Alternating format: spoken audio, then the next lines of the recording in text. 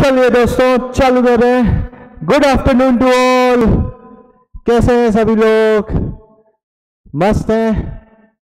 मज़ेदार? चलो तो दोस्तों, हम जो कर रहे हैं आज, वो है लास्ट क्लास का कंटिन्यूशन लास्ट क्लास में हमने स्टार्ट किया था फाइनेंशियल मैनेजमेंट कुछ याद है?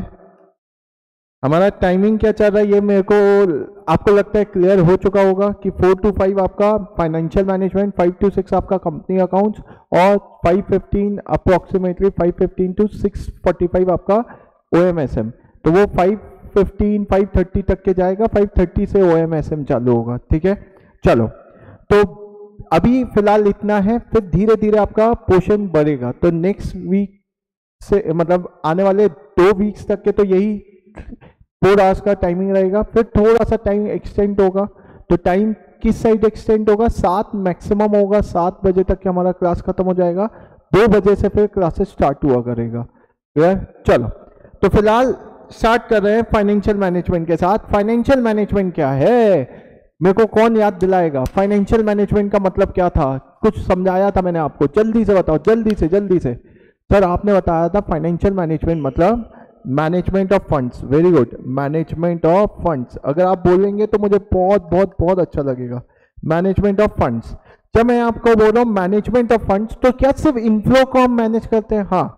बोलो हाँ। इनफ्लो को ही हम मैनेज करते हैं। बोलो।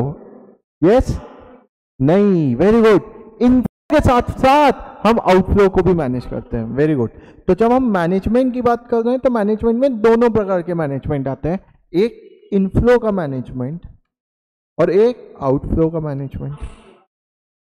ये चीज़ क्लियर है?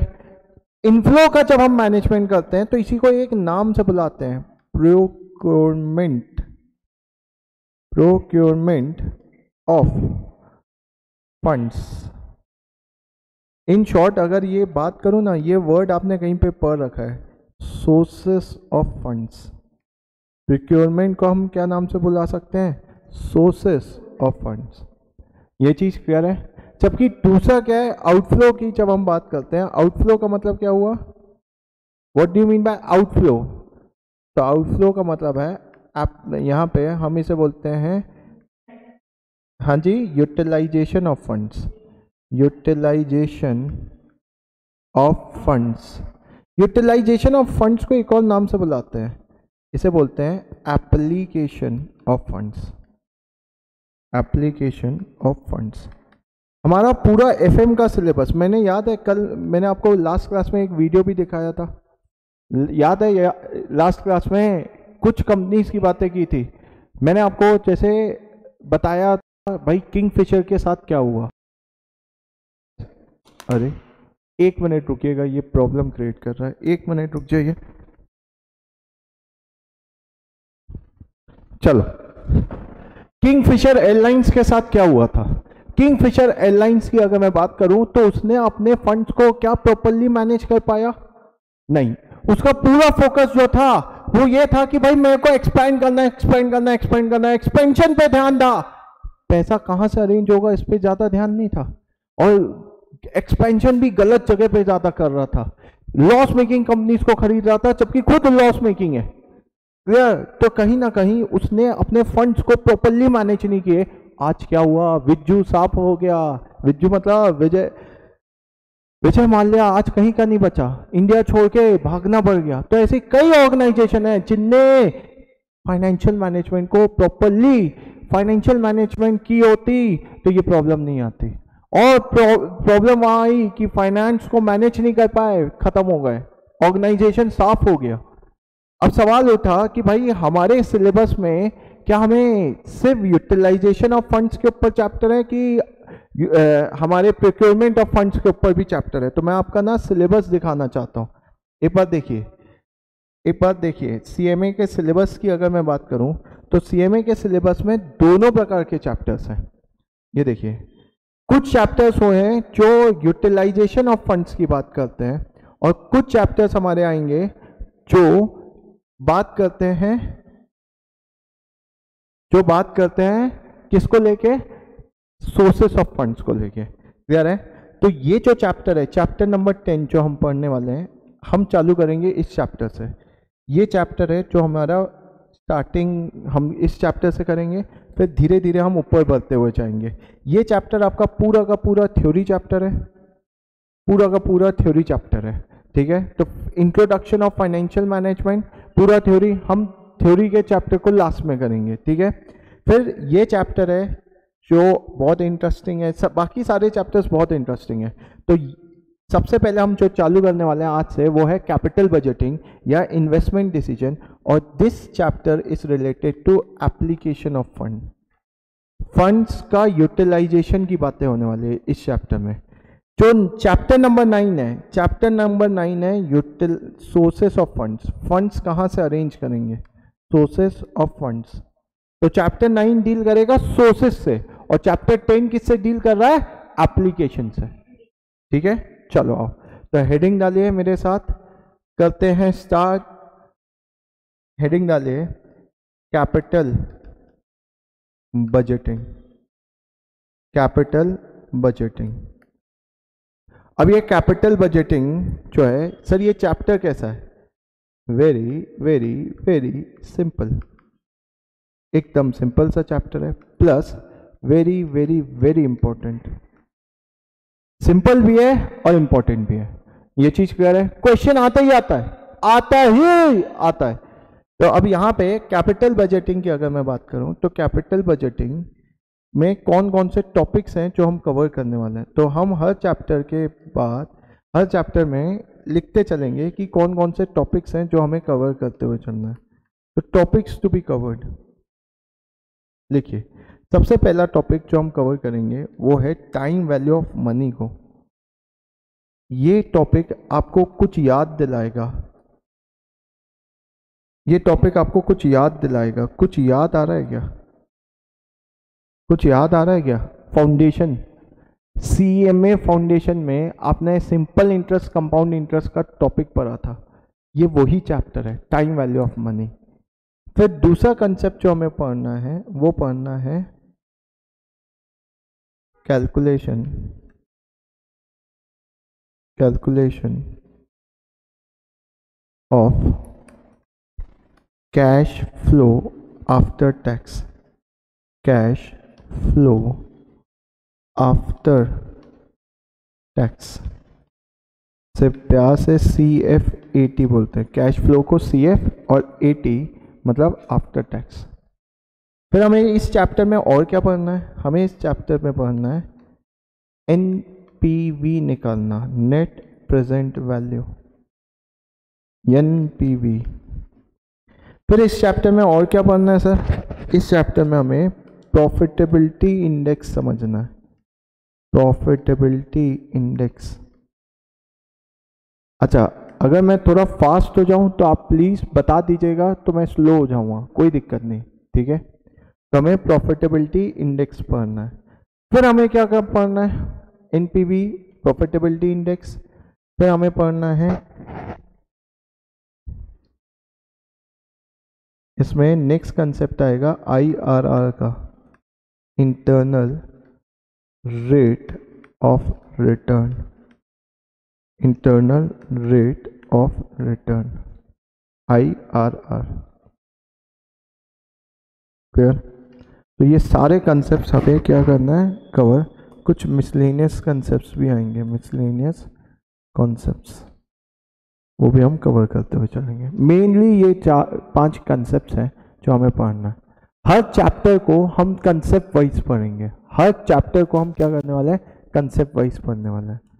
तो बताओ, हो गया क्या ये लिख के? हो गया ये लिख के? चलो वेरी गुड यू आइए concept number one concept one लिखिए मेरे साथ। Concept one time time value of money um time value of money concept one मैं आपसे पूछना चाहता हूँ सीएमए साहब, सोच समझ के जवाब देना। देखते हैं, कौन जवाब देता है। मान लीजिए कि आज आपका बर्थडे अरे, सुन रहे हो? मान लीजिए कि आज आपका बर्थडे हैप्पी बर्थडे और आज सुबह सुबह आपके पेरेंट्स आए, आपको जगाने के लिए, बेटा या बेटी उठ। आज मैं बहुत खुश हूँ। आज मैं बहुत खुश हूँ। मेरे घर में एक चिराग पैदा हुआ है, ठीक है? और वो आपसे बोल रहे हैं कि, भाई, मैं तेरे को एक लाख रुपए देना चाहता हूँ। लेकिन ऑप्शन दे रहे हैं। पापा, मम्मी खुश है, आपको एक लाख रुपए देना चाहते हैं। आपको एक ऑप्शन दे रहे हैं। ऑप्शन ये है कि आपको वो पैसा आज चाहिए कि आज से एक साल बाद चाहिए। ऑप्शन ये रहे हैं, भाई, एक लाख देना है। आज चाहिए आपसे पूछा है, आज चाहिए कि आज से एक साल बाद चाहिए? जवाब बताइए। योग्यता कब चाहिए रहेगा वो पैसा? बोलो। मुकुल। आज चाहिए। इशिका बोल रही है, सर, आज चाहिए। योग्यता, बोलो कब चाहिए पैसा? एक साल बाद चाहिए योग्यता पैसा? पिताजी, एक लाख ही देने वाले हैं योग्यता ये समझ लेना। अरे, ये देखो, ये तुम हो प्लीज़ थोड़ा प्रैक्टिकल होके बात करते हैं। ये कौन? ये पिताजी। ये पिताजी सुबह सुबह आए तुम्हें जगाने के लिए। ये कौन है? ये है आप। ये है आप। आपका क्या है? Birthday happy to you happy birthday अब आपसे पापा ने कहा कि, बेटा, मैं तेरे को एक लाख रुपए देना चाहता हूँ। वन लाख रुपीस कब चाहिए? आज चाहिए कि आज से एक साल बाद चाहिए? एक लाख ही देना है, लेकिन कब चाहिए? ये पूछ रहे हैं आपसे। बताइए, मुकुल जी बताइए, कब चाहिए? पिताजी इतने खुश है आपसे। बताओ, कब चाहिए पैसा? मुकुल, खुशबू, बताइए, कब चाहिए पैसा? आप बोल सकते हैं, बोलो, जल्दी। हाँ?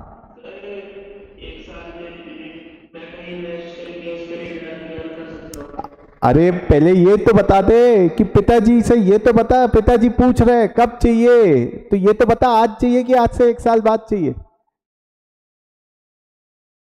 आप क्या बोलोगे? अगर मैं आपकी जगह होता, चलो, छोड़ो। अरे तुम तुम नलायक हो, तुम मतलब गेम में पार्टिसिपेट ही नहीं कर रहे, नलायक हो तुम। मैं बताता हूँ, मैं तुम्हारी जगह होता ना तो पिताजी वो बोलता, आज भी नहीं, आज नहीं, अब भी दे दो एक लाख। आज नहीं, अब भी दे दो एक लाख। पिताजी बोलेंगे, अरे ए अभी चाहिए तो क्यों चाहिए तेरे को? तो मैं पिताजी को क्या जवाब दूँगा? मैं पिताजी को बोल रहा हूँ, मुझे एक साल बाद नहीं चाहिए। मुझे अभी दो, अभी के अभी दो। तो पिताजी पूछ रहे क्या रीजन क्या है? रीजन तो बताओ कि क्यों अब भी चाहिए? तो मैं पिताजी को, सबसे पहला रीजन क्या दूँ? कोई हेल्प करना चाहे तो हेल्प कर सकता है। जल्दी बताओ, पिताजी को सबसे पहला रीजन क्या दूँ? वैसे मुकुल ने बोल दिया है कि, सर, पिताजी को हम सबसे पहले बताएँगे इन्वेस्टमेंट अपॉर्चुनिटी इन्वेस्टमेंट अपॉर्चुनिटी हम ये बताएँगे पिताजी को कि, पिताजी पिताजी, देखो, मैं आपका ही बेटा हूँ। आप बिजनेसमैन हो तो मैं भी बहुत बड़ा बिजनेसमैन हूँ। आप खिलाड़ी हो तो मैं बड़ा वाला खिलाड़ी हूँ। आप आज एक लाख रुपए मुझे दोगे? अगर मैं बैंक में जाके रखूँगा तो बैंक मुझे क्या देगा? इंटरेस्ट देगा। बैंक मुझे क्या देगा? इंटरेस्ट देगा। कितना इंटरेस्ट देगा? मान लेते हैं दस परसेंट तो आज से एक साल बाद मुझे कितना मिलेगा? एक लाख तो मेरा। और बैंक की तरफ़ से मुझे कितना मिल जाएगा? दस परसेंट के हिसाब से दस हज़ार। और तो मेरा वही अमाउंट कितना हो जाना है आज से एक साल बाद? एक लाख दस हज़ार। आप मुझे एक लाख आज दे रहे हो, लेकिन बैंक के हो, मैं अगर पैसा दे दूँगा तो बैंक मुझे एक लाख प्लस दस परसेंट एक लाख दस हज़ार देगा। तो आज मेरा इन्वेस्टमेंट अपॉर्चुनिटी है।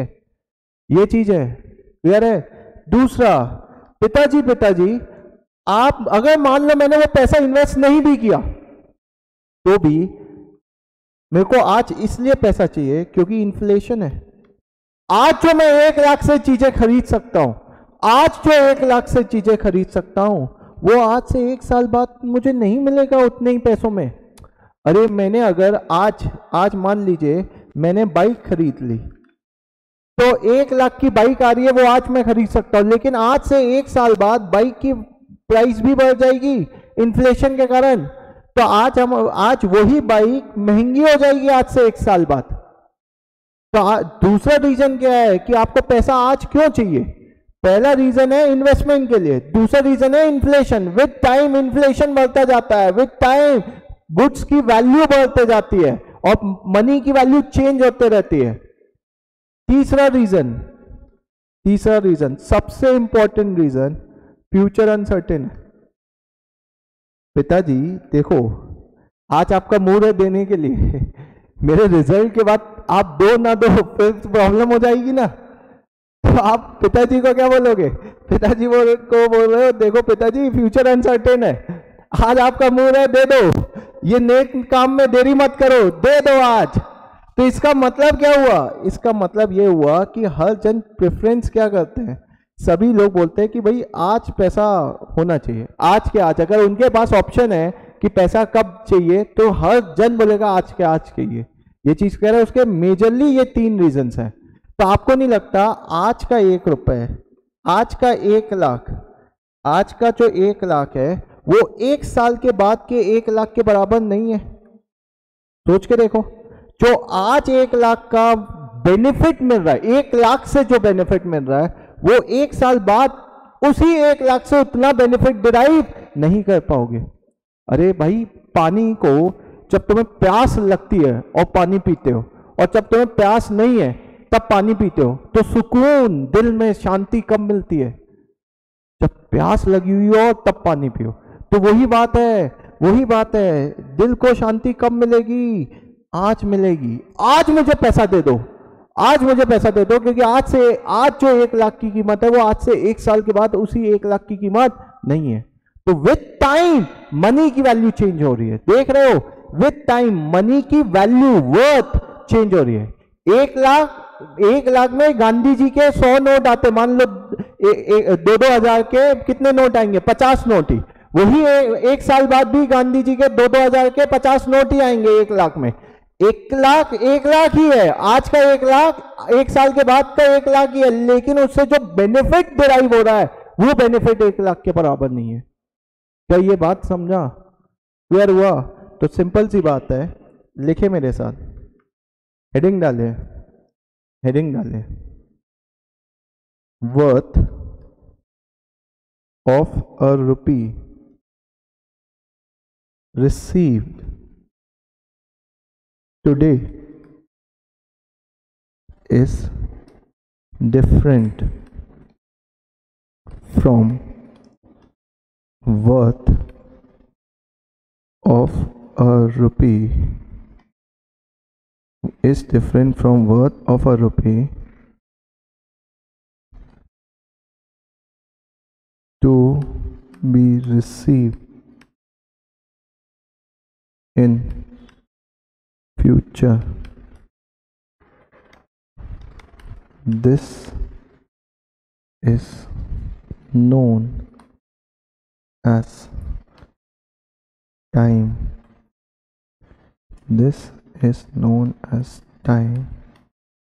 Value of money. This is known as time value of money with time money की वैल्यू चेंज हो रही है। लिखें रीजंस फॉर टीवीएम टीवीएम के रीजंस क्या है? टीवीएम के रीजंस क्या है? ये तीन रीजंस हैं। ये तीन रीजंस हैं।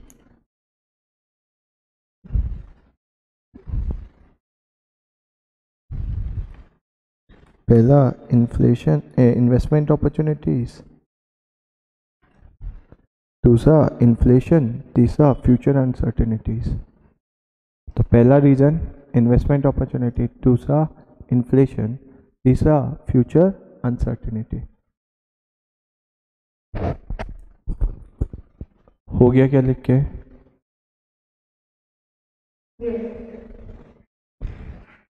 चलो। चलो। लिख के हो गया सभी का। आगे लिखें। बेसिक टर्मिनोलॉजीज अब कुछ बेसिक टर्मिनोलॉजीज की बात करेंगे। ध्यान से सुनिएगा। सबसे पहला, मेरे को बताओ, ध्यान से आप मुझे बताना, मज़ा तो तब आएगा। कोई बैंक है बैंक का नाम है एसबीआई बैंक का नाम है एसबीआई अब इमेजिन कीजिएगा। कल मैंने, याद है, आपको लास्ट क्लास में पूछा था, भाइयों और बहनों, आपने केपीसी गए और केपीसी में आपने सात करोड़ जीता। ये सात करोड़ रुपए का करोगे क्या? तो तुमने बोला था, सर, दो करोड़ का तो टैक्स चला जाएगा तो पाँच करोड़ बचेगा। उस पाँच करोड़ में से कुछ हम शॉपिंग करेंगे, कुछ हम घूमने फिरने में खर्च करेंगे, कुछ का घर खरीदेंगे और जो बचेगा हम बैंक में जाके रख देंगे। क्लियर है? तो एट दी एंड अगर मान लीजिए कि आपने डिसाइड किया कि बैंक में मुझे एक लाख रुपए, जैसे आपने वहाँ पे करोड़ों रुपए रखे तो मैं यहाँ पे सिंपल रहे फिगर्स इसलिए बोल रहा हूँ। मान लीजिए, आज मैंने बैंक में गया और बैंक में कितना जमा करके आया? एक लाख रुपए जमा करके आया। और बैंक ने मुझे फ्यूचर में फ्यूचर में मुझे एक लाख बीस हज़ार रुपये दिया, एक साल बाद। बैंक मुझे क्या, मैं आज बैंक में जा रहा हूँ, जमा कर रहा हूँ एक लाख। आज से एक साल बाद बैंक मुझे एक लाख बीस हज़ार दे रहा है। मैं आपसे पूछना चाहता हूँ, मैंने कमाई कितनी की हुई? मेरी कमाई कितने की हुई? तो आज मेरी कमाई हुई है ट्वेंटी थाउज़ेंड की वेरी गुड ट्वेंटी थाउज़ेंड की। अब आपको नामकरण करना है। नाम बताओ, इस एक लाख को हम किस नाम से बुलाते हैं? जो आज मैंने बैंक में एक लाख रुपए जमा किए, इसको हम किस नाम से बुलाते हैं? बचपन में पढ़ा है आपने ये नाम। इसको आप बोलते हो प्रिंसिपल वेरी गुड इसको आप क्या नाम से बुलाते हो? प्रिंसिपल हम इसी को ही एक और नाम से बुलाएँगे। इसको हम बोलेंगे प्रेजेंट वैल्यू क्या बोला मैंने? प्रिंसिपल या फिर प्रेजेंट वैल्यू क्लियर है? तो प्रिंसिपल बोलो या प्रेजेंट वैल्यू क्या आपको मीनिंग समझ में आया? प्रेजेंट वैल्यू का मतलब समझ में आया? देखो मेरे साथ। तो पहली टर्मोलॉजी प्रेजेंट वैल्यू या इसी का ही दूसरा नाम क्या है? प्रिंसिपल प्रेजेंट वैल्यू या इसी का ही दूसरा नाम क्या है? प्रिंसिपल लिखें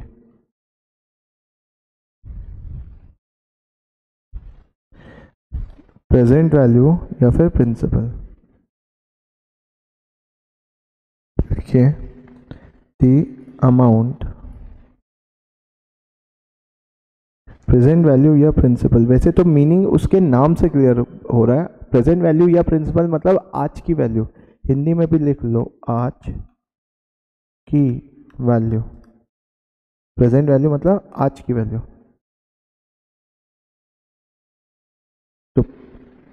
इन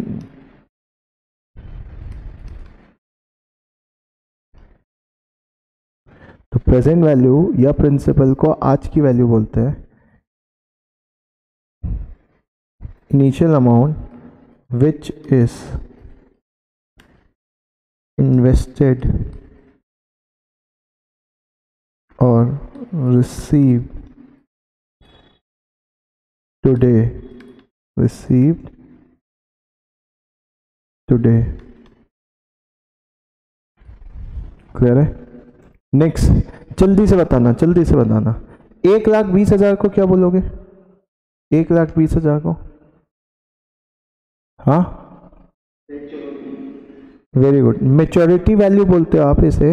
इसे आप बचपन में अमाउंट के नाम से बुलाते थे। अमाउंट मैं इसे यहाँ पे बोलूँगा फ्यूचर वैल्यू फ्यूचर वैल्यू क्या सिंपल है? चलो तो आज मेरे को बताइए तो सेकंड क्या है? सेकंड है फ्यूचर वैल्यू फ्यूचर वैल्यू या अमाउंट या इसी को ही आपने जो बताया maturity value maturity value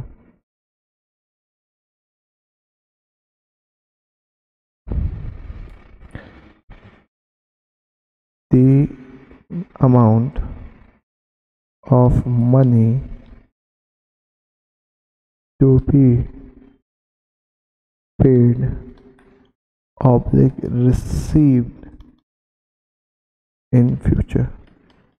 तो भविष्य की वैल्यू हो गई है। ये कौन सी वैल्यू हो गई? भविष्य की वैल्यू हो गई।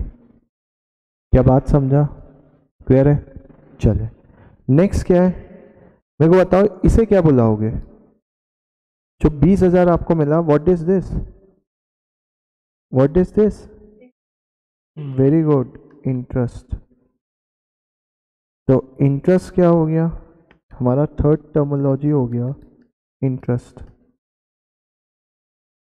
इंटरेस्ट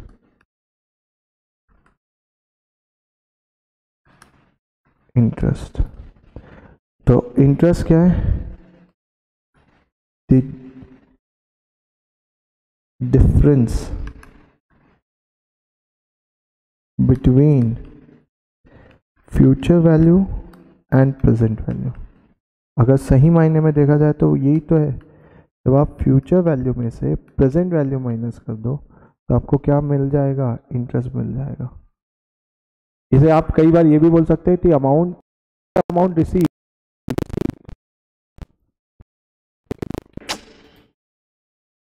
चलो। तो इंटरेस्ट क्या हो गया? Future value minus present value तो आपने एक लाख बीस हज़ार में से एक लाख माइनस किया तो बीस हज़ार जो बचा, वो आपका क्या हो गया? इंटरेस्ट अब इसी चीज़ को बताओ इंटरेस्ट दो प्रकार के थे। याद है बचपन में हमने पढ़े इंटरेस्ट दो प्रकार के होते हैं। एक होता है सिंपल इंटरेस्ट और एक होता है कंपाउंड इंटरेस्ट कंपाउंड इंटरेस्ट बताइए सिंपल इंटरेस्ट और कंपाउंड इंटरेस्ट में अंतर क्या है?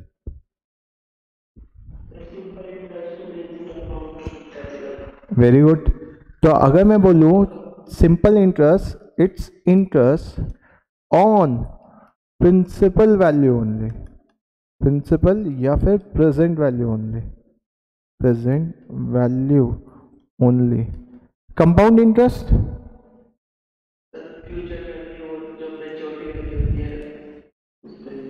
नहीं।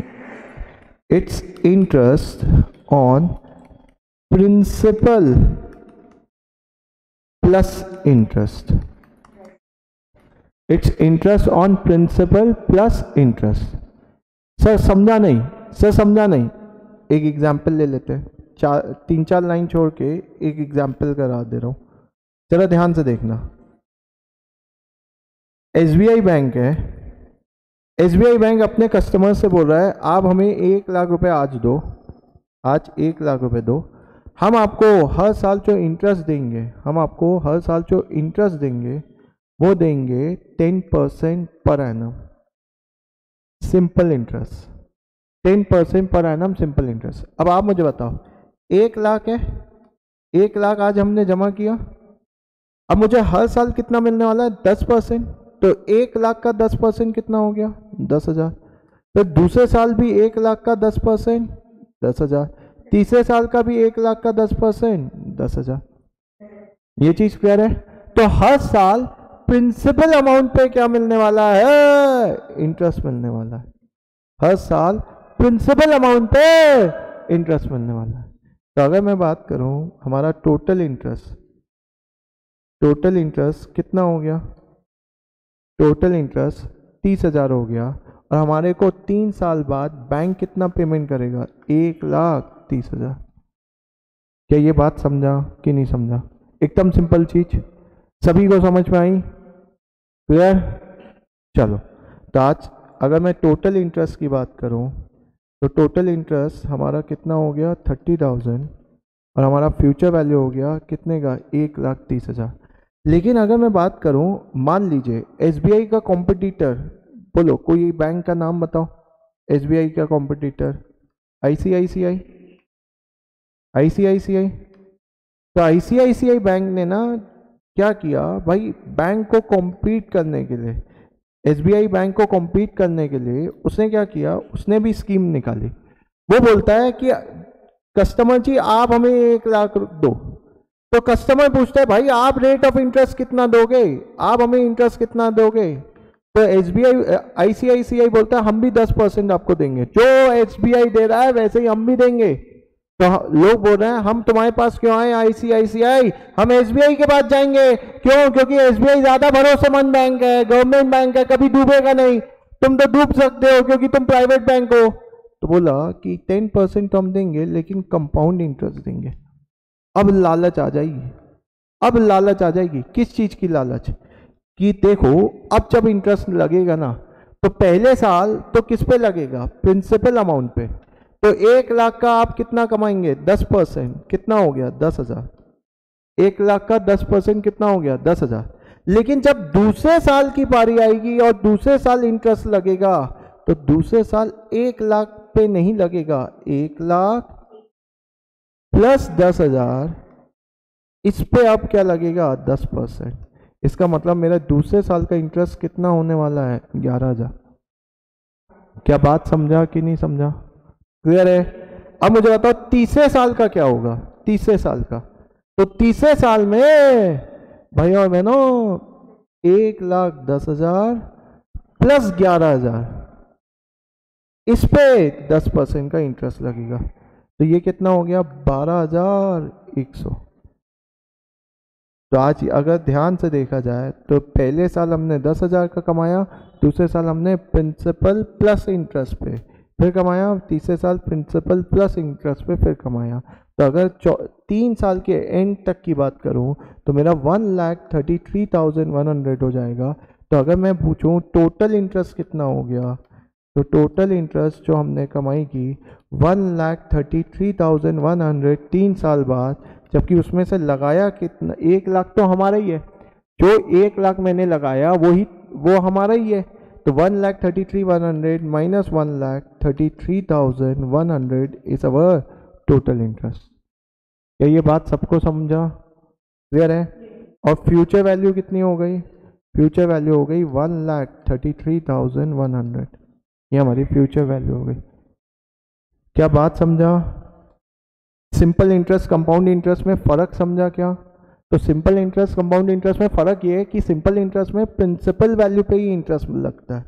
जो एक बार इंटरेस्ट अमाउंट डिपॉजिट कर दिया, उसी पे ही इंटरेस्ट निकलते जाएगा। जबकि कंपाउंड इंटरेस्ट में जो वैल्यू डिपॉजिट की प्लस जो इंटरेस्ट कमाया, अब ये कितना हो गया यहाँ पे? एक लाख दस हज़ार। अब इस एक लाख दस हज़ार पे फिर इंटरेस्ट लगा ग्यारह हज़ार। तो फिर हम क्या करेंगे? एक लाख दस हज़ार प्लस ग्यारह हज़ार। इसको मिला के कितना हो गया? इसको मिला के ये हो गई वैल्यू एक लाख इक्कीस हज़ार एक सौ।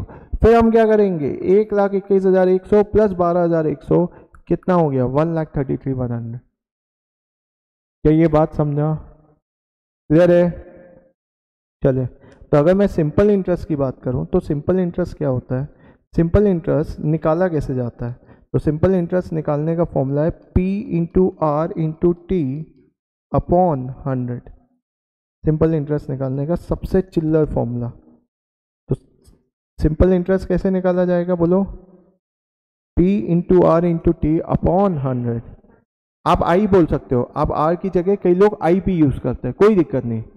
P का मतलब यहाँ पे P का मतलब क्या है? P का मतलब है प्रिंसिपल या फिर प्रेजेंट वैल्यू आप प्रेजेंट वैल्यू भी यूज़ कर सकते हो, कोई दिक्कत नहीं। आर का मतलब क्या है? Rate of interest rate of interest या आप सिंपली इंटरेस्ट भी बोल सकते हो। टी का मतलब क्या है? टी का मतलब है time to be noted my lord time जो है, वो एज टाइम का मैचिंग प्रिंसिपल चलना चाहिए। अगर आपका रेट पर एनम दिया है तो आपका टाइम भी पर एनम होना चाहिए। अगर रेट पर एनम है तो टाइम भी पर एनम होना चाहिए। ये चीज़ क्लियर है? सर इसका मीनिंग समझाना, समझा दूँगा। लेकिन पहले कंपाउंड इंटरेस्ट का लिखवा दूँ। कंपाउंड इंटरेस्ट कैसे निकलता है? बताइए। कंपाउंड इंटरेस्ट कैसे निकला? अगर आप ध्यान से देखो तो यहाँ पे तो सिंपल इंटरेस्ट निकालना बहुत आसान था, क्योंकि सिंपल इंटरेस्ट का फॉर्मूला है एक लाख। आपने एक लाख का दस परसेंट लिया और आपने कितने साल से मल्टीप्लाई कर दिया? तीन साल से। तो यहाँ पे सीधा तीस हज़ार निकल गया। तो सिंपल इंटरेस्ट निकालना बहुत ही ज़्यादा आसान है सिंपल इंटरेस्ट निकालना। लेकिन जब मैं कंपाउंड इंटरेस्ट की बात करता हूँ तो कंपाउंड इंटरेस्ट का सीधा सीधा कोई फॉर्मूला नहीं है। कंपाउंड इंटरेस्ट के लिए पहले आपको निकालना पड़ता है फ्यूचर वैल्यू और फिर उसमें से माइनस करना पड़ता है प्रेजेंट वैल्यू तो कंपाउंड इंटरेस्ट डायरेक्टली नहीं निकल सकता. नो डाउट डायरेक्ट फॉर्म में आप बोल सकते हैं sir P one plus R to the R one plus R to the power N minus one ऐसे करके आप बोल सकते हो, लेकिन वो डायरेक्ट नहीं है. वो है इनडायरेक्टली तो आप जरा ध्यान से समझेगा कि कंपाउंड इंटरेस्ट का निकलता कैसे. है तो कंपाउंड इंटरेस्ट निकालने का तरीका कंपाउंड इंटरेस्ट आएगा future value minus present value करके. कंपाउंड इंटरेस्ट हमेशा ऐसे ही आएगा। आपको क्या निकालनी पड़ेगी? हमेशा फ्यूचर वैल्यू और फ्यूचर वैल्यू में से प्रेजेंट वैल्यू माइनस करनी पड़ेगी। तो one lakh thirty three one hundred आपने किया है। आपको फ्यूचर में मिल रहा है, जिसमें से वन वन लाख आपका है। और one lakh thirty three one hundred आपको फ्यूचर में मिल रहा है। तो थर्टी थ्री वन हंड्रेड जो आपने कमाया, वो आपका इंटरेस्ट है। क्या ये बात समझा? तो भाई यहाँ पे हियर हियर फ्यूचर वैल्यू कैसे निकलेगा? तो फ्यूचर वैल्यू का एक फॉर्मूला होता है। Future value is equal to present value one plus R to the power N. मैं आपसे रिक्वेस्ट करूँगा, आपने आई आई करके पढ़ रखा होगा आर को तो मैं आपसे रिक्वेस्ट करूँगा, जैसे मैं आपको बता रहा हूँ, वैसे ही कर लो प्लीज़ तो कन्फ्यूज़न नहीं होगा, नहीं तो बार बार ना थोड़ा बहुत कन्फ्यूज़न होगा, अगर आप पुराना याद रखोगे और ये वाला पढ़ोगे तो। तो ज़्यादा अच्छा है, जैसे मैं समझा रहा हूँ, वैसे समझ लो। इसी को ही बचपन में आप इसको ऐसे लिखते थे, बचपन में amount is equal to principal one plus R to the power N कई लोग आर की जगह अगर आई लिखते थे तो वो amount is equal to P one plus R to the power N लेकिन मैं बार बार बोल रहा हूँ, अब हम थोड़े से बड़े हो गए तो ये चिल्लर वर्ड्स यूज़ नहीं करेंगे। अमाउंट और प्रिंसिपल नहीं future value present value word use करेंगे। तो फ्यूचर वैल्यू कैसे निकलेगा? Principal present value one plus R to the power N जिसमें एन का मतलब क्या है? एन का मतलब है number of times compounding is done. Number of times compounding is done.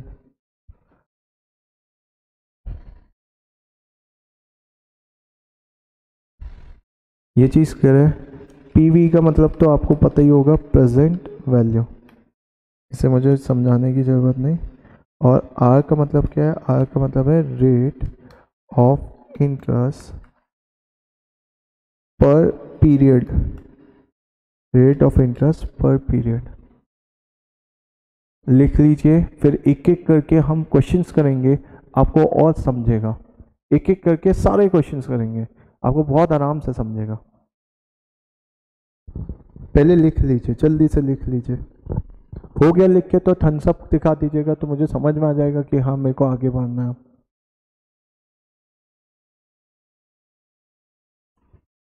चंद्र का हो गया, खुशबू, इशिका वेरी गुड मुकुल का भी हो गया। रश्मि, आप आज लेट आए हैं। योग्यता, जल्दी। चलो। हो गया सभी का? योग्यता का भी हो गया। चलो, क्या क्लियर हुआ? अब एक एक करके क्वेश्चंस उठाते हैं। जल्दी से आओ, जल्दी से आओ। कुछ क्वेश्चंस करने वाले हैं अपन। ढेर सारे क्वेश्चंस करने वाले हैं। देखिएगा, कहाँ गया कहाँ गया? मैं आपको ना इसी में ही करा देता हूँ। लिखो एग्ज़ाम्पल मेरे साथ लिखो। प्रेजेंट वैल्यू दी हुई है एक लाख। प्रेजेंट वैल्यू है एक लाख, ठीक है? आपको टाइम दिया हुआ है टाइम दिया है थ्री इयर्स टाइम दिया हुआ है थ्री इयर्स आपको रेट ऑफ़ इंटरेस्ट दिया है twelve percent rate of interest twelve percent per annum आपको कैलकुलेट करना है calculate simple interest and compound interest calculate simple interest and compound interest चलो। कौन पहले आंसर निकालेगा? चेक करना चाहता हूँ। आपको लिख के भेजना है। चैट बॉक्स में आप भेज दीजिएगा। अच्छा कोई बात नहीं बेटा। रश्मि, कोई बात नहीं। होता है। वीडियो ज़रूर देख लेना बेटा। चलो, जल्दी से निकालो। मैं देखना चाहता हूँ, मेरी क्लास का असली हीरा कौन? कौन करेगा कौन करेगा?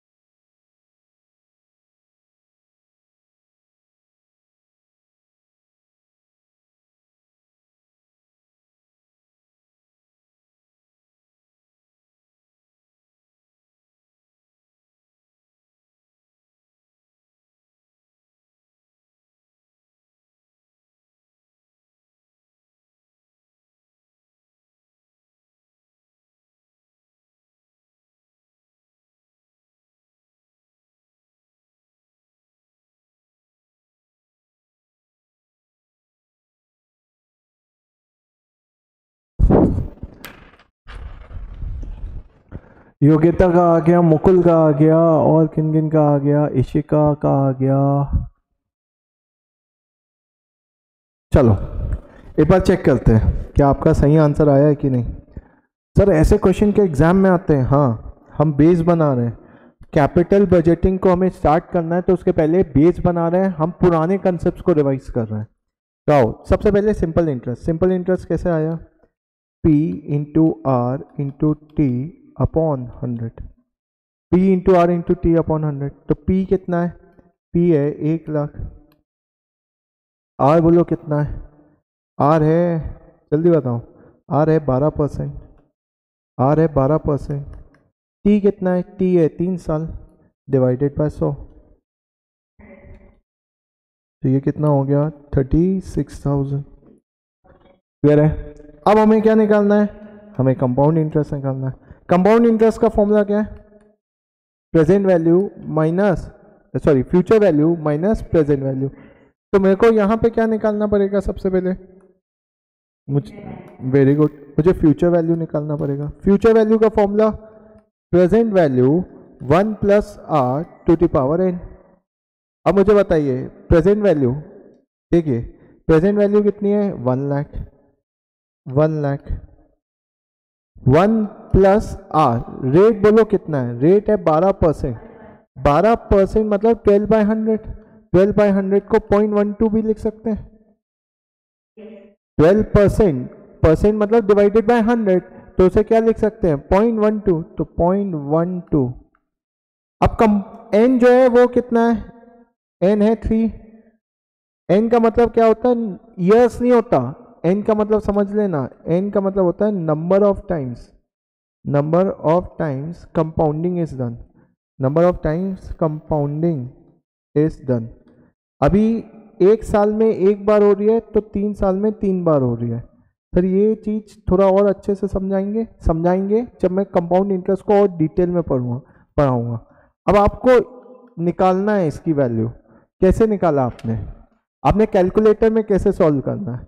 तो मैं आपको बता रहा हूँ कैलकुलेटर में आप दो तरीके, आपने क्या किया होगा? 1.12 टाइप किया होगा। अगर 1.12 ये समझा ना 1 प्लस पॉइंट वन टू इस 1.12 1.12 की खोपड़ी पे तीन है टू दी पावर खोपड़ी मतलब पावर तो बताइए 1.12 की खोपड़ी में तीन है तो आपने इसे सॉल्व कैसे किया? तो बहुत सिंपल है। आपको कैलकुलेटर में क्या टाइप करना है? आपको कैलकुलेटर में टाइप करना है 1.12 point one two equal to दो बार दबाना है। प्लीज़ ध्यान से सुनिए। अगर पावर थ्री है, अगर पावर थ्री है तो इक्वल टू आपको दो बार दबाना है। फिर से बोल रहा हूँ। प्लीज़ ध्यान से सुनिएगा। मुझे फाइव का स्क्वायर निकालना है। तो फाइव का स्क्वायर हम सब जानते हैं कि कितना होता है? ट्वेंटी फाइव फाइव का स्क्वायर ट्वेंटी फाइव फाइव का क्यूब निकालना है। तो फाइव का क्यूब हमें पता है वन ट्वेंटी फाइव होता है। अब फाइव का cube one twenty five calculator में निकालना है तो मैं क्या करूँगा? फाइव प्रेस करूँगा कैलकुलेटर में।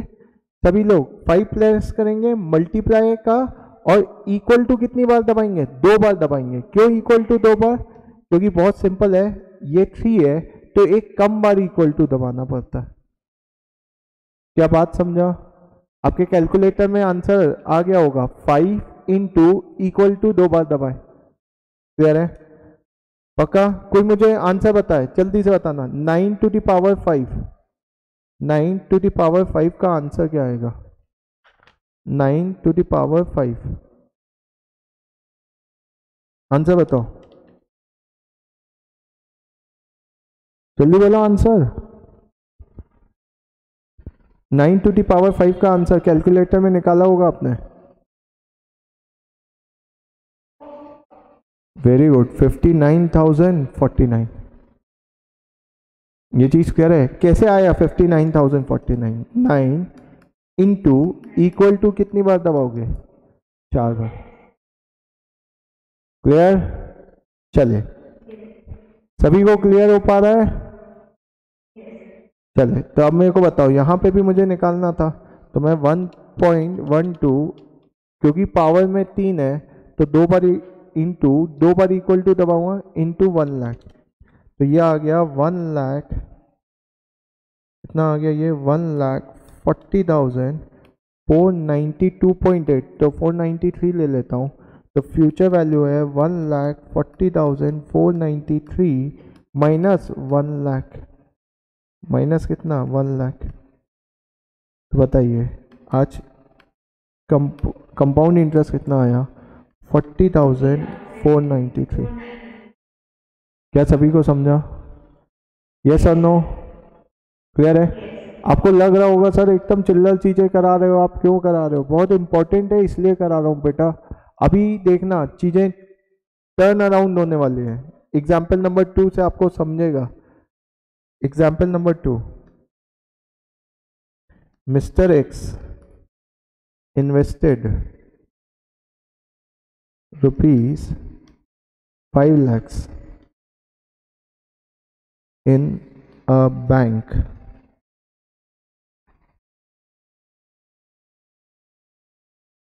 For for 2 years 11 months. For 2 years 11 months at 12% है ना कैलकुलेट फ्यूचर वैल्यू या मेचोरिटी वैल्यू आपको कैलकुलेट क्या करना है? मेचोरिटी वैल्यू कैलकुलेट करनी है।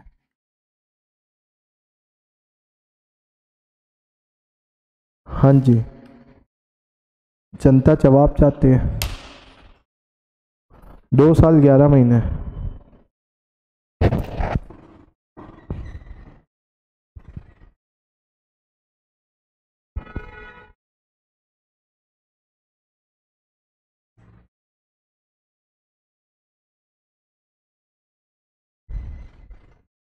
आंसर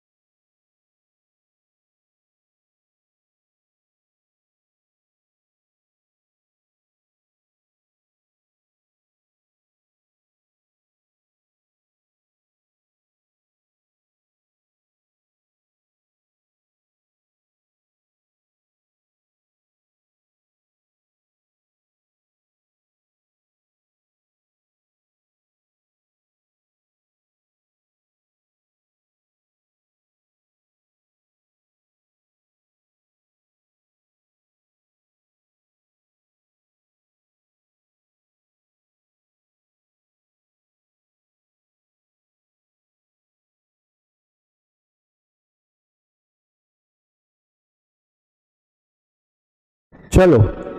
आंसर आना चालू है, लेकिन अभी एक ही कहीं आया है। इसी का कहीं आया है, बाकी लोगों का क्यों नहीं आया?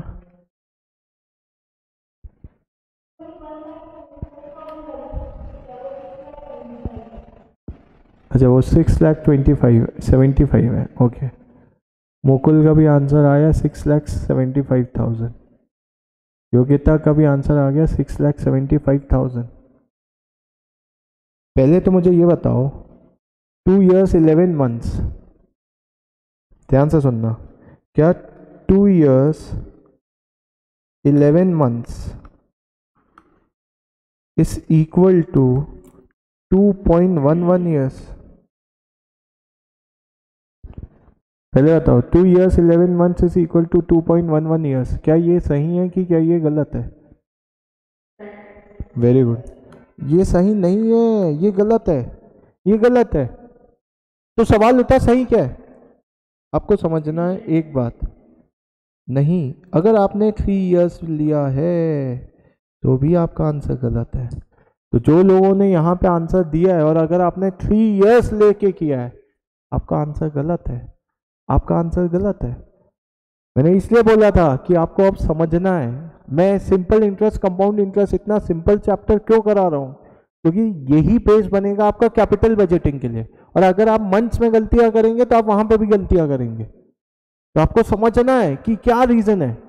तो अगर किसी ने थ्री इयर्स लेके किया है, उसका भी आंसर गलत है। उसका भी आंसर गलत है। एक एक महीने में बहुत चेंज आता आता है। आज एक इमेजिन करो, बैंकों को करोड़ों रुपए आता है। बैंकों को करोड़ों रुपए आता है। एक महीने का इंटरेस्ट भी करोड़ों में चले जाता है बैंकों का। तो तुम दो साल, ग्यारह महीने को तीन साल नहीं ले सकते। तो अब कुछ करना पड़ेगा। वही तो सीखना है, वही तो समझना है। जरा ध्यान से देखो, ध्यान से देखो। मेरे को बताओगे twenty four months is equal to how many years how many years क्या ये सभी अग्री करते हैं कि नहीं करते? 24 four months is equal to two years सभी लोग मानते हैं ना? जानते हैं, पहचानते हैं? बचपन में पढ़ाया गया था। एक बात बताओ, जैसे ही मैंने बोला 24 फोर मंथ्स तो आपके दिमाग में आ गया दो साल। तो बताओ 36 six months 36 months three years 48 months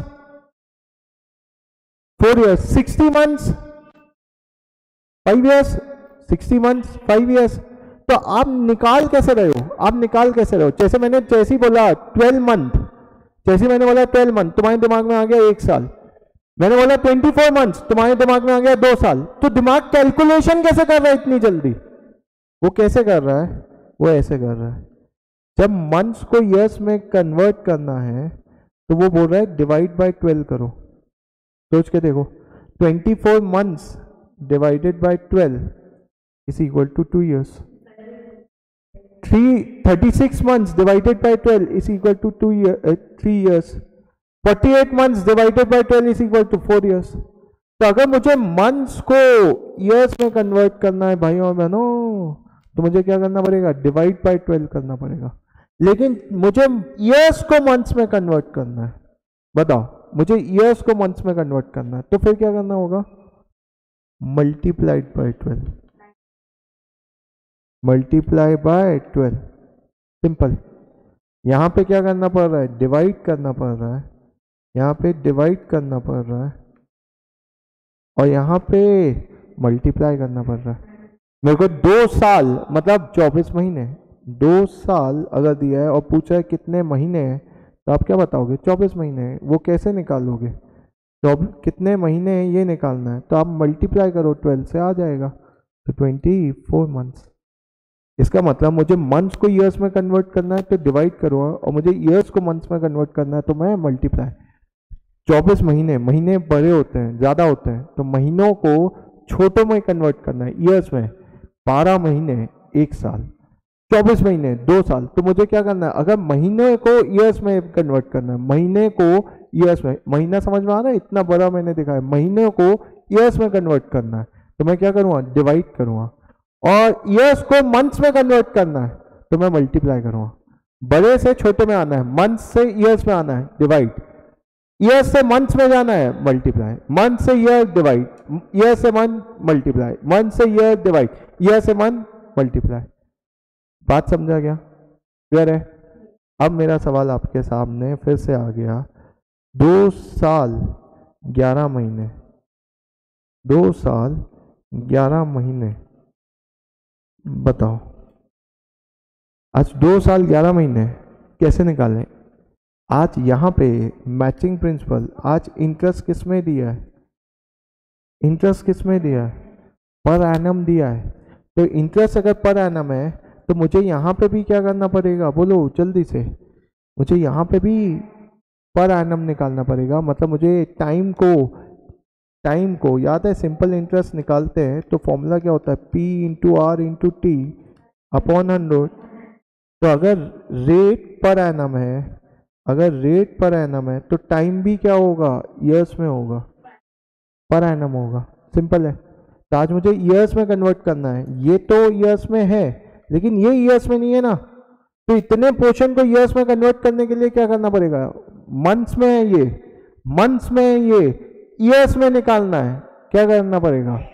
divide करना पड़ेगा। तो two years plus eleven by twelve समझ में आया? टू ईयर्स तो एज इट इज़ रहेगा इलेवन बाई ट्वेल्व तो इलेवन कैलकुलेटर में उठाओ। Eleven divided by twelve plus क्या कर देना? टू तो दो साल प्लस कर देना। रहे तो कितना हो गया? Two point nine one six six six years भाई, दो साल तो ऑलरेडी है, और ये ईयर्स में अब आ गया। ये भी क्या आ गया? ईयर्स में। क्लियर है? तो बस तो 2.9166 ईयर्स अब आप फॉर्मूला लगा दो। फॉर्मूला क्या है? पाँच लाख। पाँच लाख। इंटू रेट है बारह परसेंट इंटू टाइम है two point nine one six six seven या सिक्स सिक्स सिक्स चलता जा रहा है whole divided by hundred solve कीजिए इंटरेस्ट कितना आ गया तो आप ना जब लोगे तो five lakh into twelve into two point nine one six six six six six six six six seven last तक के लेना डिवाइडेड बाय हंड्रेड तो ये हो गया one lakh seventy five thousand. One lakh seventy five thousand. तो आज मुझे बताओ, सिंपल इंटरेस्ट आ गया वन सेवेंटी फाइव। तो आज फ्यूचर वैल्यू कितनी आएगी? तो बैंक मेरा पैसा तो देगा ही देगा। जो मैंने लगाया था, मैंने कितना लगाया था? पाँच लाख। और इंटरेस्ट के नाम पे मैंने और कितना, बैंक मुझे कितना देगा? एक लाख पचहत्तर हज़ार। तो टोटल कितना हो गया? Six lakh seventy five thousand. तो सभी बच्चों ने सही जवाब दिए। मज़ा आ गया ये देख के। बोलो, क्या ये बात समझा क्या? ये सर नो क्लियर है? ऐसे ही किया क्या आपने सॉल्व भी? या आपने मंथ्स में पूरा कन्वर्ट कर दिया होगा, वो भी तरीका है एक, कि आपने पूरा मंथ्स में ले लिया हो। चलो नेक्स्ट एक और example example number three calculate rate of interest. Calculate rate of interest if if present value is rupees 5 lakhs. Future value is rupees 8 lakh 40,000 time is 4 years चलो। चलो हो जाओ शुरू। अब आपको रेट निकालना है। जल्दी से निकालिए।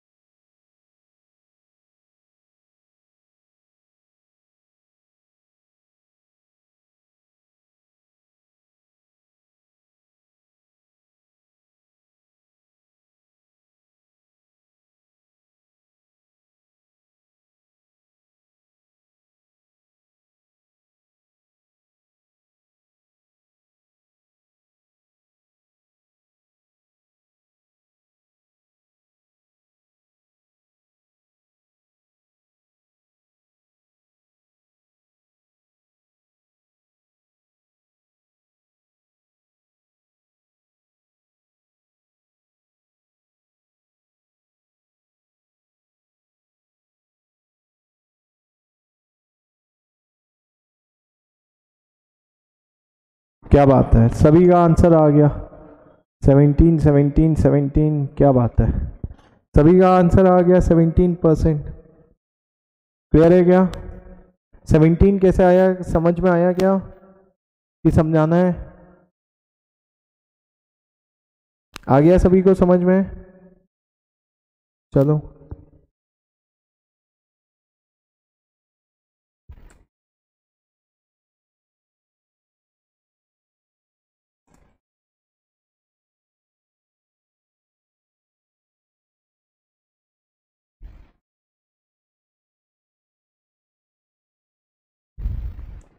चलिए, कुछ और क्वेश्चंस की प्रैक्टिस कर रहे हैं?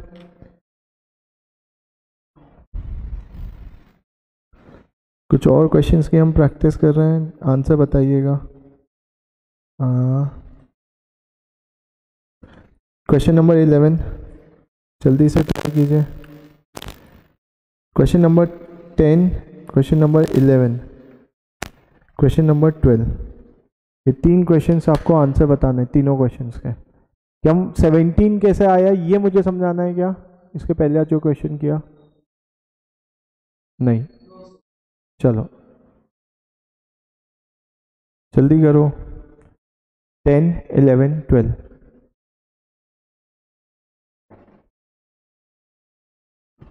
कैलकुलेटर में ही हो सकता है। लिख के प्रैक्टिस करने का ज़रूरत ही नहीं। कैलकुलेटर में ही हो सकता है।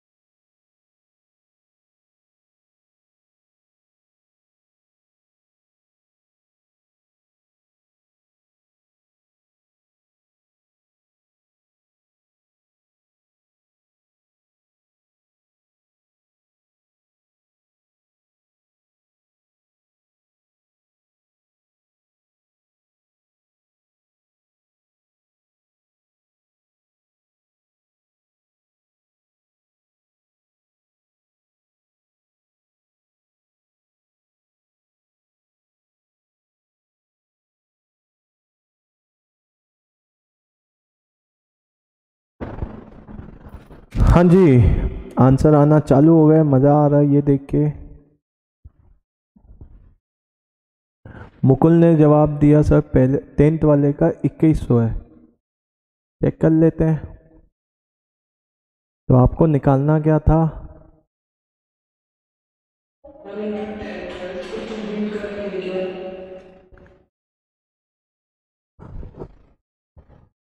बेटा, पहले टेंथ वाले का आंसर जो आपने निकाला है ट्वेंटी वन हंड्रेड वो गलत है टेंथ वाले का। जिसने मेरे को टू थाउज़ेंड वन हंड्रेड लिख के भेजा है, वो गलत है। वो ट्वेल्व थाउज़ेंड वन हंड्रेड है। अरे क्वेश्चन क्या पूछा है? देखो एमसीक्यू में घुमाएगा बेटा। क्वेश्चन क्या पूछा है? If you invest ten thousand in a bank at simple interest seven percent per annum what will be what will be the amount at the end of three years तो amount at the end of three years मतलब वो क्या मांग रहा है? Future value मांग रहा है। और आप मुझे क्या बता रहे हो? इक्कीस सौ प्रेजेंट वैल्यू वो चार ऑप्शन में आपको घुमाएगा। वो इक्कीस सौ देगा, वो बारह हज़ार एक सौ देगा, वो दो और अमाउंट देगा। और आप किसमें टिक करके आओगे? इक्कीस सौ। आप सोचोगे आपका आंसर सही है। अरे, गलत है। टू थाउज़ेंड वन हंड्रेड नहीं ट्वेल्व थाउज़ेंड वन हंड्रेड सही आंसर है। क्या बात समझा? क्लियर हुआ? चलो। सेकंड तो जिसका आंसर आ गया टेंथ वाला twelve thousand one hundred very good उनने पकड़ लिया। क्वेश्चन नंबर इलेवन तो क्वेश्चन नंबर इलेवन के किन आंसर्स आए हैं कई लोगों के? वो भी चेक कर लेते हैं। मुकुल जी का आया है। क्वेश्चन नंबर इलेवन का two thousand two forty Ishika का भी टू थाउज़ेंड टू फोर्टी और ये चंद्र का भी, खुशबू का भी। चलो। चेक करते हैं। Two thousand is deposit in a bank for two years at simple interest of six percent how much will be the balance at the end of two years तो balance at the end of two years मतलब दो साल के बाद का balance क्या रहेगा? वो ये पूछ रहा है। ठीक है। तो 2000 का 6 परसेंट दो सालों के लिए 240 आता है तो 12 2240 सही है आंसर ट्वेल्थ वाले का। चंद्र का आंसर आ रहा है 12 परसेंट मुकुल का आंसर 11 परसेंट आ रहा है। तो यहाँ पे डिफरेंस है। इशिका का 10 परसेंट आ रहा है। ओ माय गॉड मज़ा आ जाएगा। अब देखने में ज़्यादा मज़ा आएगा। इसका सही है। दस परसेंट, ग्यारह परसेंट, बारह परसेंट की नन। बताइए।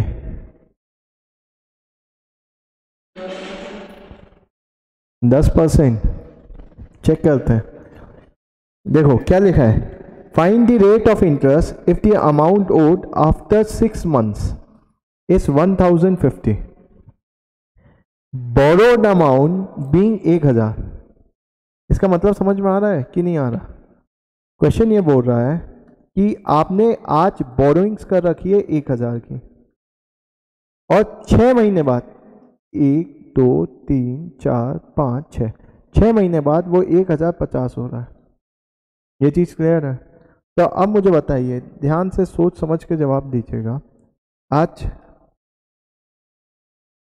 टाइम उसने दे रखा है six months time is six months याद है मंथ्स को हमें किसमें कन्वर्ट करना पड़ेगा? ईयर्स में। तो क्या करना पड़ेगा? डिवाइडेड बाय ट्वेल्व तो point five years simple interest का फॉर्म सिंपल इंटरेस्ट अगर देखा जाए तो कितना हो गया? एक हज़ार पचास फ्यूचर में होने वाला है, जबकि आज कितना है? एक हज़ार. तो आज हमने अगर बोरो कर रखा है एक हज़ार और छः महीने बाद हमें एक हज़ार पचास रुपये देना पड़ रहा है तो पचास रुपये ज़्यादा देना पड़ रहा है ना? तो ये पचास रुपये जो हमें ज़्यादा देना पड़ रहा है, यही तो हमारा सिंपल इंटरेस्ट हो गया। यही तो हमारा इंटरेस्ट हो गया। और क्योंकि सवाल सिंपल इंटरेस्ट का है तो इसलिए सिंपल इंटरेस्ट हो गया। तो आज फॉर्मूला क्या होता है? P into R into T upon hundred is equal to fifty P कितना है? एक हज़ार। रेट वही तो नहीं पता। Time point five upon hundred is equal to पचास। बस सॉल्व कर लीजिए। ये दो ज़ीरो से ये दो ज़ीरो कैंसिल। दस into point five is five R is equal to fifty. Therefore R is equal to ten percent. R is equal to ten percent. अच्छा मज़ेदार चीज़ बताता हूँ। आप ये चीज़ ना विदाउट विदाउट इतना सॉल्व करने के बिना भी कर सकते थे। हिट एंड ट्राई मेथड जिसे हम बोलते हैं। सी ए फाउंडेशन में या सी एम ए फाउंडेशन में अगर आपने समझा होगा कि एक कंसेप्ट होता है hit and try hit and try hit and try क्या है? आपको वो चार ऑप्शन दे रहा है, जैसे दस परसेंट पर एनम का। एक मिनट के लिए मानिए, वो पहला ऑप्शन दिया आपको ग्यारह परसेंट पर एनम फिर दस परसेंट पर एनम फिर बारह परसेंट पर एनम और नन ऐसे चार ऑप्शंस दिया। तो अब इन चार में से कौन सा सही है? तो आपको क्या करना है? एक ऑप्शन उठाओ चेक करो कि आंसर सही आ रहा है कि नहीं। जैसे कि आपने लगाया है हज़ार, और फ्यू छः महीने बाद एक हज़ार पचास वैल्यू आनी चाहिए। मतलब आपका सिंपल इंटरेस्ट कितना आना चाहिए? पचास। चेक करो कैलकुलेटर उठाओ। एक हज़ार प्रिंसिपल इंटू ग्यारह महीने इंटू ग्यारह percent rate into point into point कितना है? Point five into point five divided by hundred करके देखो, क्या ये पचास के बराबर आ रहा है? क्या ये पचास के बराबर आ रहा है? नहीं। तो मतलब ये सही नहीं है। फिर हज़ार इंटू रेट है दस into point five divided by सौ। चेक कीजिए, क्या ये पचास के बराबर आ रहा है? हाँ तो करेक्ट आंसर कौन सा है? बी वाला। इसे हम बोलते हैं हिट एंड ट्राई करना। ये कन्वेंशनल ये अगर आपको सब्जेक्टिव आता तो इस तरीके से आपको सॉल्व करना है। लेकिन आप सब्जेक्टिव नहीं है, ये चार ऑप्शन आएँगे आपको। तो आप एक एक ऑप्शन को उठा के चेक कर सकते हैं। क्या ये बात समझा क्या? क्लियर हुआ क्या? कोई डाउट क्या? तो कोई डाउट नहीं, सब क्लियर है। बहुत अच्छा। चलिए। अब इसके आगे की बातें, मेरी ज़ुबानी, हम नेक्स्ट क्लास में कंटिन्यू करेंगे। नेक्स्ट क्लास आपकी कल रहेगी, ठीक है? तो अब कंटिन्यू मेरे को अब बार बार वैसे बताने का ज़रूरत ही नहीं है नेक्स्ट क्लास कब है, ठीक है? चलो तो पाँच मिनट का ब्रेक है। पाँच नहीं, सात मिनट का ब्रेक दे देता हूँ। चार बज के सत्रह मिनट हुआ है। चार बज के पच्चीस मिनट पर आप वापस आ जाओ। हम अकाउंट स्टार्ट करेंगे, ठीक है? कंपनी अकाउंट्स चलिए। अभी के लिए टाटा बाय बाय।